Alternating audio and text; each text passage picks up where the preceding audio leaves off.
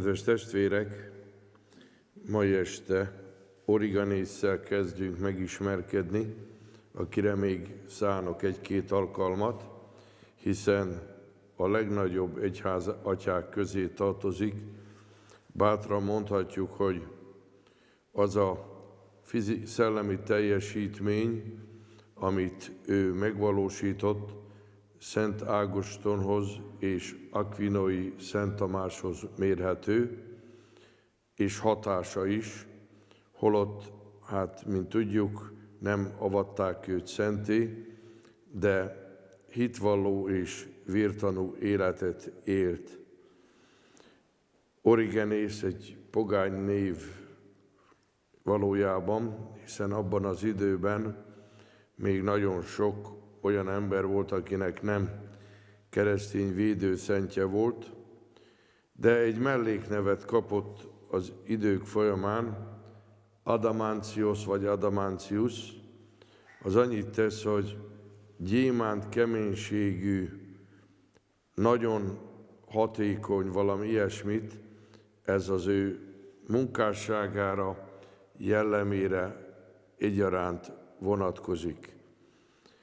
Acélember, így is hívták őt, életében ő ezt nem használta, mert ő inkább azt szerette mondani, hogy ő homo ecclesiasticus, az egyház embere, egyik levelében írja is, hogy én az egyház embere vagyok, és ha eretnekséget találnék hirdetni, akkor közösítsenek ki, vágják le a jobb kezemet, amivel írok, és vessen ki az Anya Szent Egyház. Tehát ő végig ortodox hitű ember akart maradni, egy vértanúnak a fia, aki 202-ben halt meg, ő keresztény hitért, lefejezték. Egyes formájú átírásban Leonidásnak mondják az apját, másik formában Leonidésznek.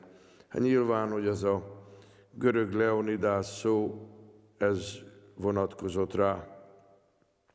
Az apja is nagy műveltségű ember volt már, grammatikai iskolát nyitott, ami nem azt jelentette csupán, hogy írni, olvasni tanították a nebulókat, hanem ott filozófiával, számtannal, csillagászattal, mindennel ismerkedtek egy ilyen iskolában, és közben az apja kateketikai iskolát is vezetett.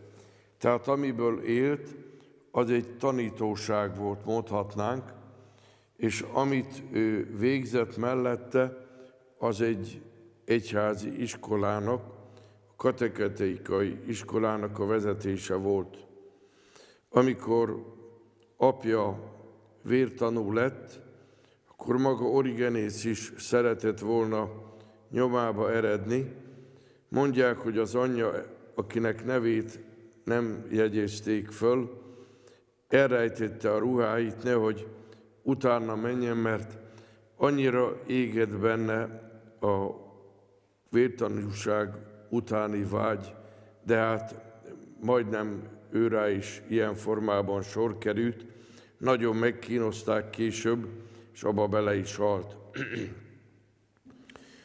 Átvette a kateketikai iskolát és a grammatikai iskolát fiatalon, mert csoda gyereknek számított Origenész. Nagyon éles esze volt, és jól magába tudta szívni a különböző iskolában tanult dolgokat. Hallgathatta Ammónia Szakkászt, aki a platonizmusnak volt az újra fölfedezője, ezt hívjuk új platonizmusnak, ott Észak-Afrikában. Ammóniás szakkász egyébként annyit jelent, hogy a zsákoló ammóniás, mert valószínűleg ez a filozófus is fizikai munkát végzett, amiben föntartotta magát. A platonizmus abban az időben nagyon nagy hatással volt a keresztény gondolkodásra. Erről én sokszor szót ejtettem már, de ha nagyon le akarnám egyszerűsíteni a hallgatóság előtt, hogy mi a különbség a platonizmus és az Arisztotelész tanítása között, mert mindkettő hatással volt az egyházi tudományosságra, teológiára, míg az ókorban a platonizmus, a középkorban az Arisztotelész féle tudomány volt az, ami nagy hatással volt a teológiai gondolkodásra. Platon volt előbb Arisztotelésznél, őnálla a kiinduló pont, mondhatnánk azt, hogy a, a transzcendencia, a szellem, az Isten, amiben keresztényeknek könnyű volt belehelyítesíteni a Teremtő Istent, a Logoszt, Jézus Krisztus személyét is. És ugye Platonnál van az, hogy van egy szellemi világ, ami igazi valóság, és van az a világ, amit mi látunk, ami csak képe annak a, az igazi örök világnak. És hát arra törekszik minden földi létező, hogy oda eljusson. De ebből adódóan a platonista világképben a test, amelybe a szellem helyet foglal, az nyűgé válik. Tehát valamiképpen megveti a testet. És a szellem volt előbb a platonista világképben. Míg a keresztényeknél az Isten elsőbsége az nem okozott problémát, azonban az, hogy a lelkünk előbb lett volna, mint a testünk, ezt a keresztény tanítás nem vallja, hanem azt mondja, hogy a fogantatáskor Isten úgy teremti az embert, hogy emberi lelke is legyen. Na most az arisztotelészi világkép az a fordítottja, a vaskos realizmus. Látja ezt a világot Arisztotelész, megalkotja a törvényeit, és a természettudományok is valójában arisztotelészi alapról indultak ki, ókorban, középkorban, újkorban, de Arisztotelész sem volt Isten tagadó, tehát nem volt egy materialista, hanem az anyagi világból ment a szellemi világ felé, és hát ki is dolgozta azokat az Isten érveket, amelyek az anyagi világ törvényszerűségeiből Istenre mutatnak, az első mozgatóra, az abszolút szellemre, és így tovább. De akkoron, amikor Origenész Alexandriában élt, még a neoplatonizmus virágzott. Föltámasztották újra, mert ahogy említettem is, előbb volt Platón, utána jött Arisztotelész, sok minden másféle bölcselet, elfelejtődött Platón, de föltámasztották, és így a kereszténységre, hát különösen Ágostorra is nagy hatással volt. Ammoniás Szakkásznak egyébként csak a hírneve maradt meg, műveit nem ismerjük, de maga Origenész is hallgatta. Egyébként Origenész épp úgy, mint a múlt órán említett Alexandriai Kelemen, jól ismerte a klasszikus filozófiát, tudományt, de nem emlegeti. Miért? Mert ő úgy tartotta, hogy hát akármilyen nagy szellemek is, és föl is használta maga Origenész is a gondolkodásában, de hát azért ezek mégiscsak pogányok, megmaradtak a kereszténységen kívül, tehát nem kell őket nagyon felemlegetni, mert ezek olyanok, mint ahogy mindjárt fel is olvasom, olyan, mintha a kereszténység volna az embernek az igazi felesége, vagy anyja, a, a pogánság pedig az ágyasa. És hát nem szoktak az emberek dicsekedni az ágyassal, meg a ilyen idegen asszonynal, hanem a törvényes feleséget szokták előtérbe helyezni. De ugyanakkor nagyon ismerte ő, Origenész. Hát egy kis írás részlete azt mondja, ha Isten törvényének tanítása mellett kapcsolatunk van olyan kívülről jövő világi tudományokkal, mint például az irodalom, vagy a nyelvtan, a geometria, az aritmetika, vagy a dialektika, és ha mindezeket a kívülről származó tudományokat a mi tanításunkhoz kapcsoljuk, és arra használjuk őket, hogy a törvényünk igazát megvédjük, akkor úgy tekintenek minket, mint aki idegent vagy ágyas asszonyt vesz feleségül.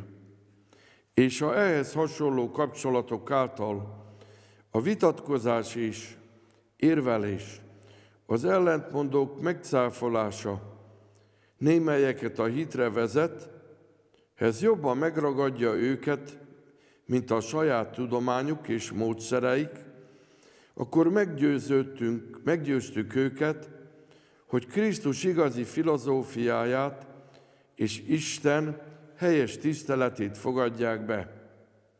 Ekkor úgy tűnik, hogy olyan gyermekeink vannak, akik a dialektikától, vagy a retorikától, vagy az idegen, vagy az ágyas asszonytól születtek.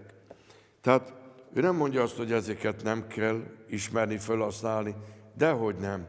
De abból indul ki, hogy ha nekünk egyszer ott van a kinyilatkoztatás, akkor az az első, amivel mi érvelünk. Az egy külső szempont, és hát tényleg szoktuk is olyanoknak, akik egészen távolról jönnek, hogy éppen a világi tudományoknak a törvényszerűségén, a világi tudósok megállapításain is egyfajta fundamentumot adunk annak, hogy a mi hitünk értelemszerű meghódolás az Isten előtt. Tehát az origanésznél ez ugyanúgy föllelhető, csak nem nagyon használja a neveket, nem nevezi meg őket.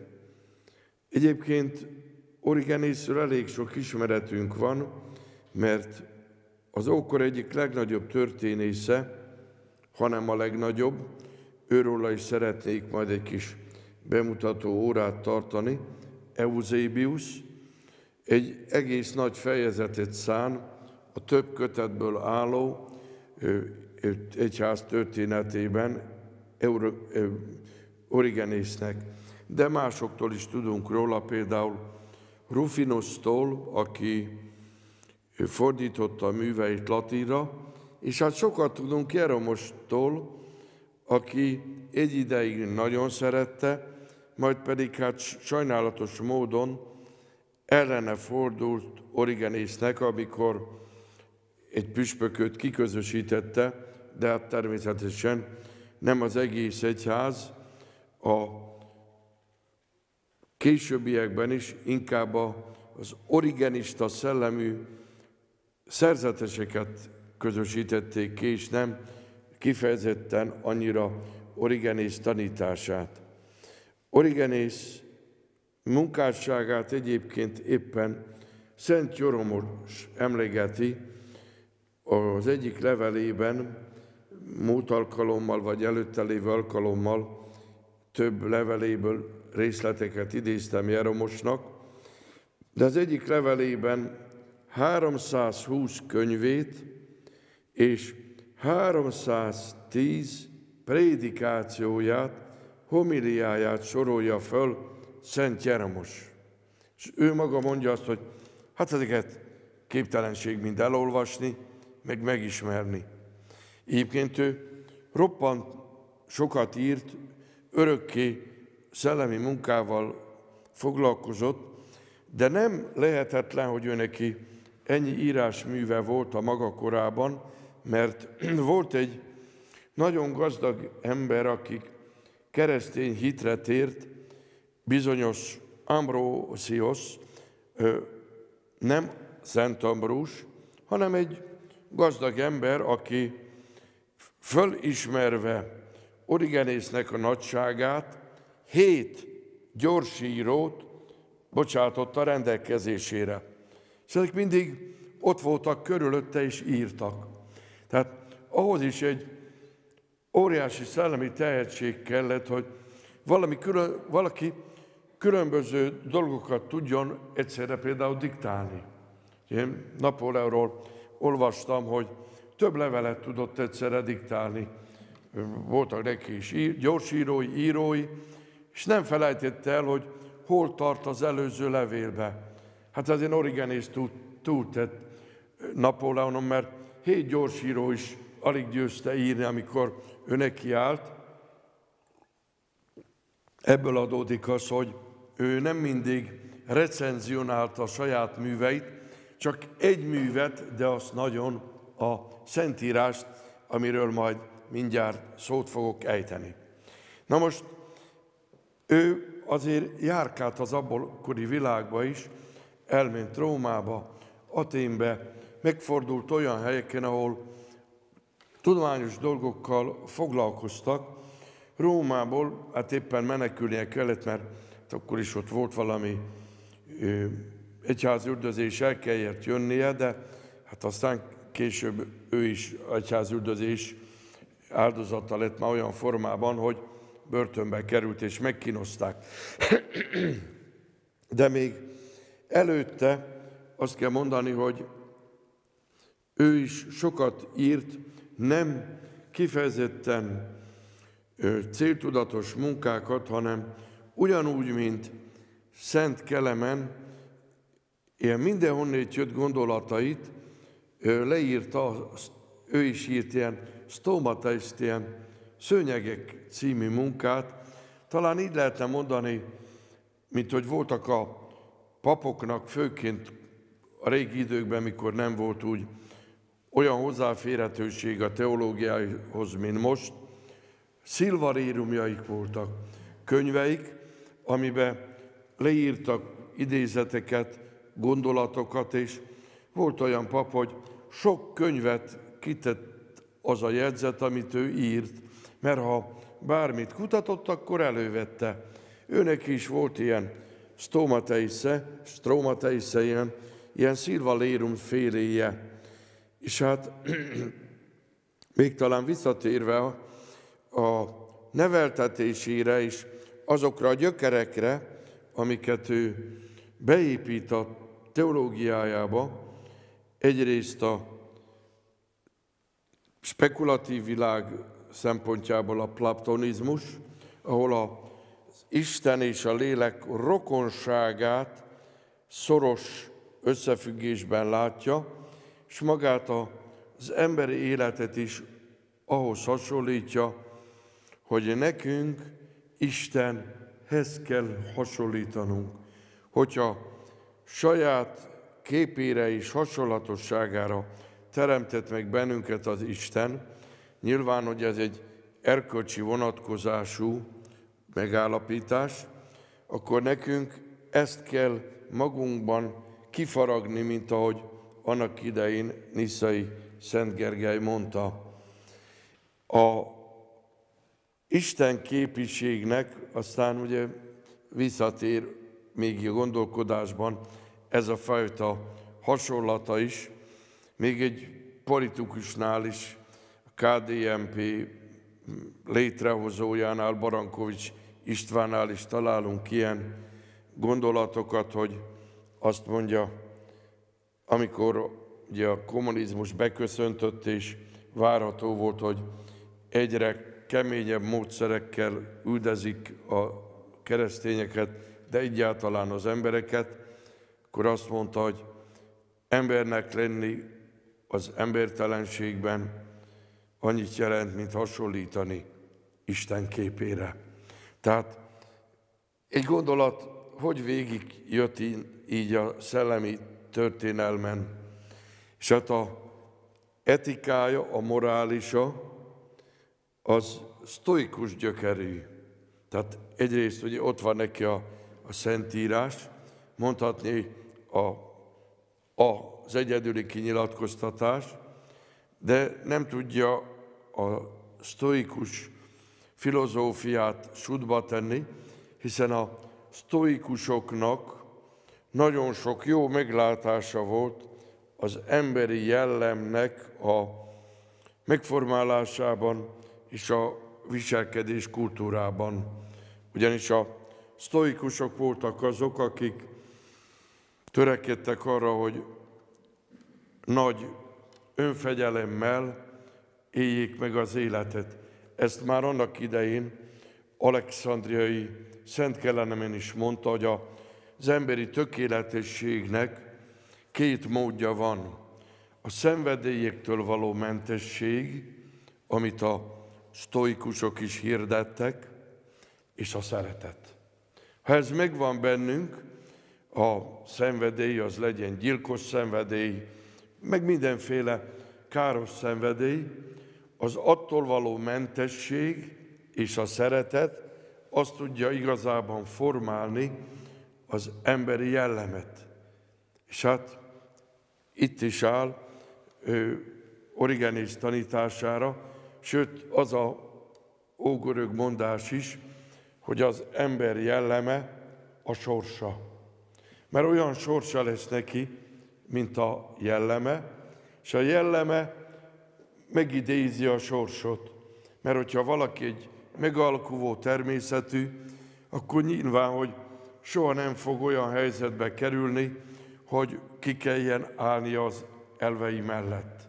De hogyha karakán, akkor bizony a nézeteiért, világnézetéért bizony üldözést is szenvedett. Hát így volt Origenész is, hogy a háttérben lehet látni az ő teológiájában, ott a platonizmus, és ott van a sztoikus filozófia. Az élet útja az főként Alexandriához és Cezáriához kötődik. Alexandria az a mm, afrikai Alexandria, ott fönn Észak-Afrikában van. Ott volt fiatalkora, ahol már kateketika iskolát vezetett, és nagyon nagy híret egyszert, és hát amikor elment keletre, meghívták ilyen előadásokra. A császárnő, a Julia Mamme is szívesen hallgatta. Meghívták ilyen konferenciabeszédekre. Olyan híre volt neki, hogy meghívták távol-keletre, hogy jöjjön, tartson előadást a Bibliáról. És ő ment, és pont egy ilyen útján volt az, hogy akkor még nem volt pappá szentelve, és tanított. És az a püspök, aki Alexandriában volt, az ilyen jurisdikciós, jogi dolgot látott abba, hogy hát hogy akar egy civil ember magas teológiát tanítani, hogyha nincs is pappá szentelve. Na, a következő útján pappá szentelték, akkor meg Demetriosnak az volt a kifogása, hogy én a területileg illetékes püspök ehhez nem adtam engedélyt. Hmm, hasonló dolgok még manapság is sokszor történnek. Tehát akkor pappá szentelték őt, de akkor meg az volt a baja, hogy hát pappá szentelték, az ő engedélye nélkül. És hát ugye mondják azt, nincs bizonyítva, de állítják róla, hogy éppen a Szentírás nagyon radikális követése miatt azt a részt, amikor az Úr Jézus beszél arról, hogy hát hogy egyik ember megházasodik, valaki nem tud megházasodni, mert az emberek képtelenné teszik rá. Hát gondoljunk arra, hogy a császári udvarban nagyon sok eunuk volt. Ugye kasztrálták őket, hogy ott a császári ház hölgytagjait ne kísértsék, meg akkor talán az énekhang, meg sok, miatt, sok minden miatt is. És akkor az Úr na van, van egy ilyen radikális dolog, hogy hát valaki pedig az Isten országáért kasztrálja magát. De hát ezt nem, hogy nem vették szó szerint, hanem tilalommá vált a papszentelés esetében, ahogy nem veszük komolyan, vagy nem veszük szó szerint, hogy ha megbotránkoztat a bal kezed, akkor vágd le, és így tovább. Hát a Origenész mondják, hogy ő azért, hogy ennyire szó szerint kövesse még ezt a kasztrálást is elvégeztette magán, de hát akkoriban ez nem volt még egyházjogi kitétel, ez később azzá vált, hogy eunukokat vagy férfiatlan embereket nem lehet pappá szentelni. Tehát ez csak úgy jellemző rá, hogy még erre is képes volt. A második részét Cezáriában érte le az életének, ott nagyon nagy ismeretségre tett szert, tudományát elismerték, és az a vágyott üldöztetés bekövetkezett, mert a Décius féle üldözésben, ez a 253-as években volt, vagy 50-es években, nagyon-nagyon megkínozták, börtönviseltétették, amikor kiszabadult, még egy évet élt, és 254-ben Tírusban temették el, és ott halt meg. Ez az életkerete Origenész egyházatyának. A legnagyobb vállalkozása a Szentírás tekintetében egy kritikai kiadásnak a megalkotása volt. Ugyanis ő a zsidókkal való érvelésnél vette azt észre, hogy a zsidók nem fogadják el a keresztények érvelését, mert azt mondják, hogy ti az Ószövetséget, az úgynevezett Septuaginta, a 70-es fordítás alapján idézitek, és nem a eredeti alapján. Tehát nem érvényes a ti szentírás magyarázatotok.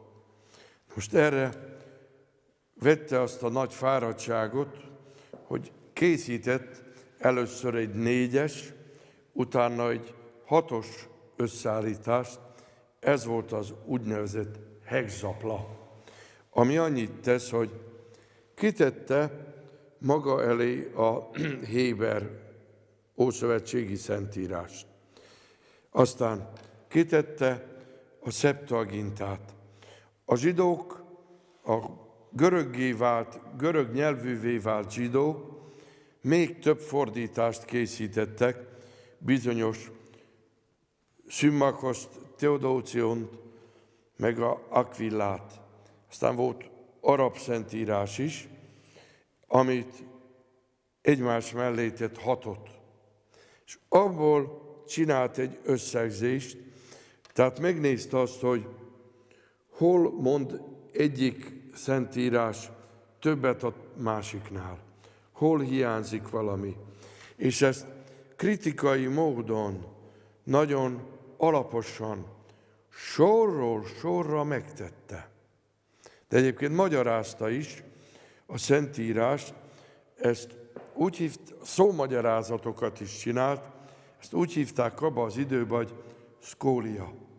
Vagyis egy szónak megadta az igazi filológiai eredetét.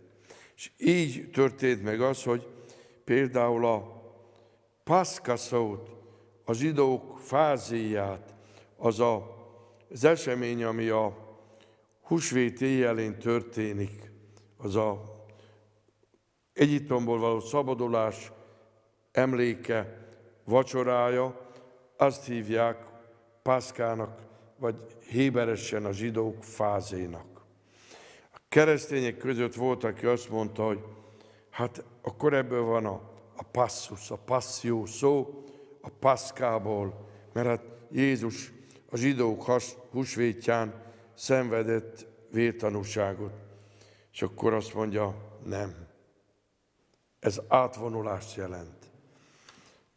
A zsidóknál, ahogy átvonul Isten a táboron, nálunk keresztényeknél a halálból a föltámadásba, az örök életbe.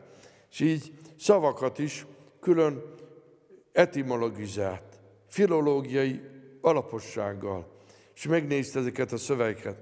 Az volt a baj, hogy később már szinte nem mert senki arra vállalkozni, hogy ugyanígy ezt a hegzaplát lemásolja. Óriási munka volt, hogy ezt, ezt így megcsinálják.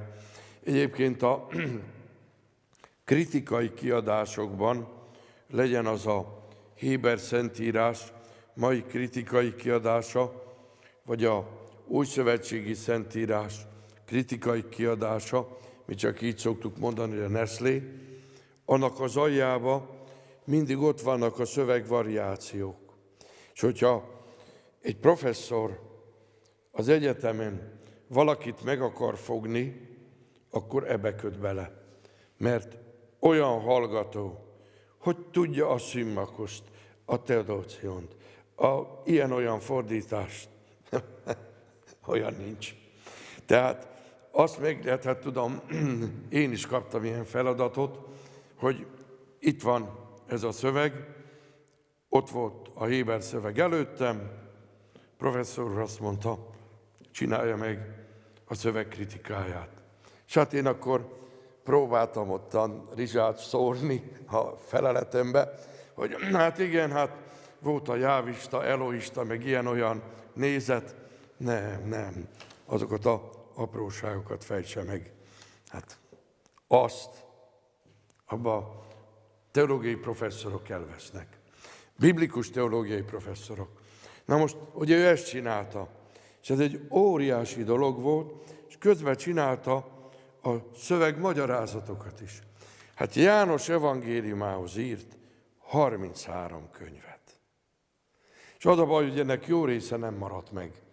Lefordították latinra, de hát abból is azért nagyon sok hiányzik, de azért, ami megmaradt, lehetne azt mondani, hogy az is romjaiban hatalmas, ami megmaradt. És ugye ez volt a, a fő biblikus magyarázata, de erre majd ki fogok térni, hogy mit tudunk ebből mi kamatoztatni, mert kamatoztatjuk a Szentírás olvasáskor, amikor olvassuk, illetve magyarázzuk. Aztán volt neki egy nagy dogmatikai műve, amit görögül per archonnak mondnak, mondanak, a, a principiumok, de principis. Így lehet ezt mondani, hogy alapelvek, amiben a dogmatikai, morális igazságok vannak. Az ortodoxia védelmében a gnosztikusokkal szembe. Az a az volt az a szellemi áramlat, ami nagyon sokáig gyötörte az egyházat, az a, az, az ókornak volt a New Age, meg gender programja, meg minden, ami hát foglalkozott nagyon alapvető, mindig is égető kérdésekkel, amire most se tudunk tökéletes választ adni. Miért a rossz? Ugye, jó hiánya. Anyag, testiség, üdvrend. Hogy van ez? Hogy hogy kapcsolódik a szellemhöz az anyag? Mert már az is elgondolkodható, hogy van egy agyvelő. Ott van egy majomnak egy agyveleje. Ott van az emberé. És micsoda különbség van a két agy teljesítménye között. Hát hol van benne a szellem? Ugye? Megkérdezhetnénk. Tehát már az ember életében is ott van a nagy kérdés. hogy kapcsolódik a szellemiséghez? Hogy van az, hogy az anyagon látszik a szellem? Hiszen azért, ha megnézünk egy akadémikust, meg megnézünk mondjuk egy nagyon egyszerű ember arcát, hát azért látszik, hogy kiül az arcon a szellem. Tehát hogy kapcsolódik hozzá? De Jézus Krisztus személyében hogy kapcsolódik? Az Istenséghez az emberi szellem. Na most ezekkel is ő, ő foglalkozik. Aztán hát nyilván, hogy a legnagyobb kérdés mindig is a föltámadásnak a kérdése. Hogy ez hogy lesz? Mert ugye azt mondja Platon, hogy előbb volt a lélek, lejött ide a földre, fölvette az emberi testet, amiből alig várja, hogy szabaduljon. Ebből adódott aztán a kereszténységnek bizonyos korokba a test ellenessége. Mert a platonizmus nagyon rányomta a gyökerét. De nem, mint hogyha a Bibliában el lenne olyan, hogy a test sokszor a maga ösztöneivel, a maga szenvedélyeivel ne húzná le az embert, de nem alapvetően rossz, mint hogy a platonizmus mondja. De ha egyszer itt van ez a test, és benne van a szellem, azt mondja Platon, véget ért a földi életnek a küzdelme, visszament a szellem, a szférák világába, éli az örök élet örömét. Kereszténység ezt nem mondja. Milyen a föltámadás? Nem lehet csak szellemi dolog, ezt mondja a Rigenész is. Ugye újabban van ilyen nézet teológusok körében, hogy ha Jézus valójában nem is támad föl, csak valójában az apostolok lelkébe. Mert azt mondták, hogy hát nehogy már szégyenben maradjunk. Ő mindig azt tanította, hogy ő a föltámadás és az élet. Most meg ilyen csúfos halált szenvedett, és akkor mondjuk azt, hogy föltámadt.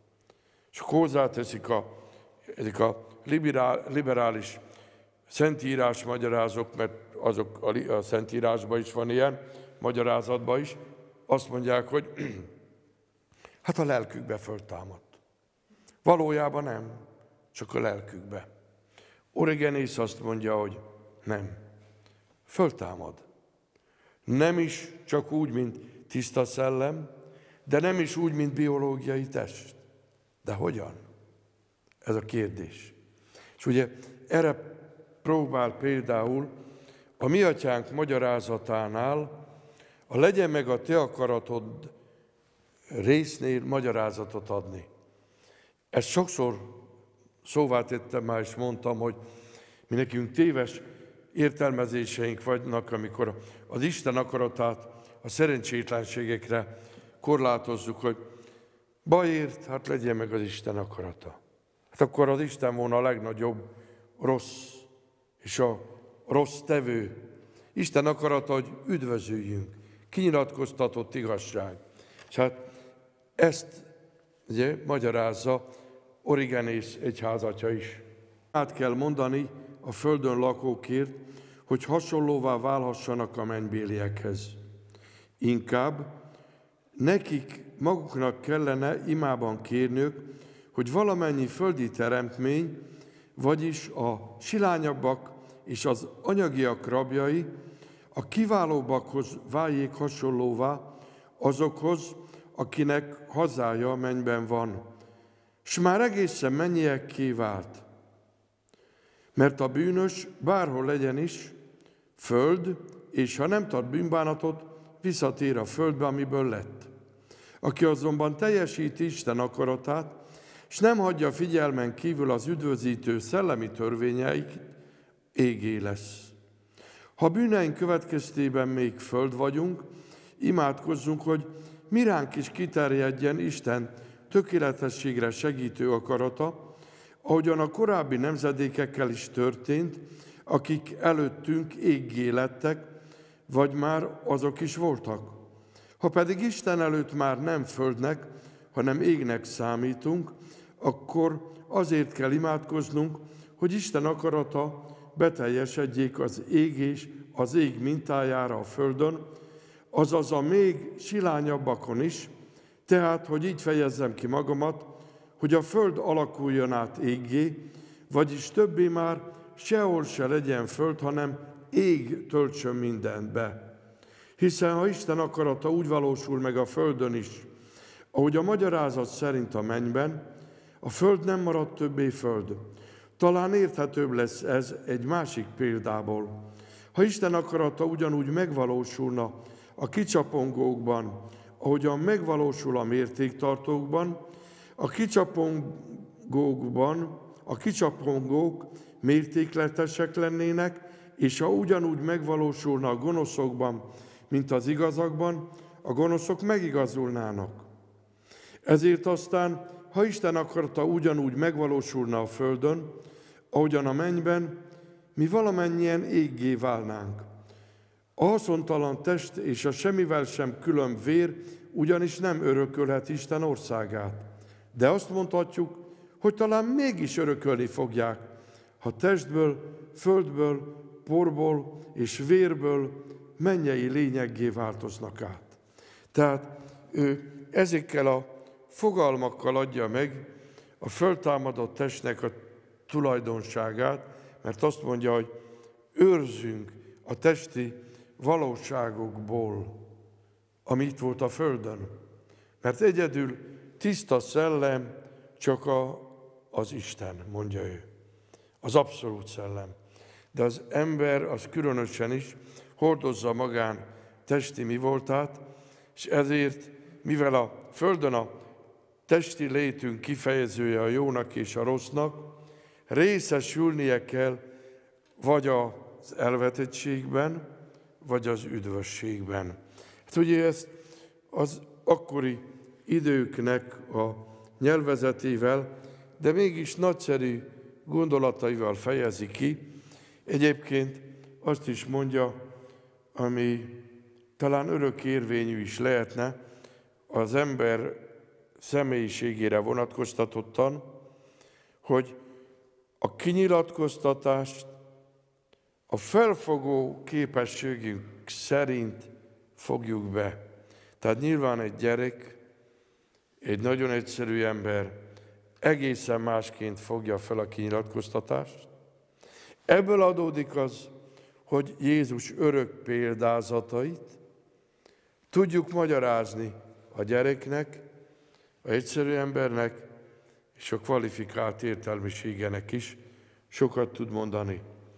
És még azt is mondja, hogy az ember nem tudja fölfogni önmagában az Istent, ezért kellett emberi testet öltenie Jézus Krisztusnak, hogy így megközelíthető legyen az ember értelme és felfogó képessége számára. Majd folytatjuk Origenésszel való ismerkedésünket. Dicsértessék a Jézus Krisztus! Amen.